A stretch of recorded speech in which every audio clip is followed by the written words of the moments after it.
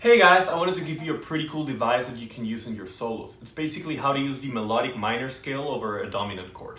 So I'm gonna pick a dominant chord, in this case C7 for the tenor sax, and I'm basically going to play the melodic minor scale of a fifth above, so G melodic minor.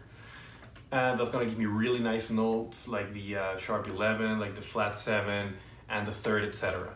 So what I'm gonna do is I'm gonna start on the note C and I'm just gonna play up and down seven chords diatonically to that scale. Okay, it's gonna sound like this.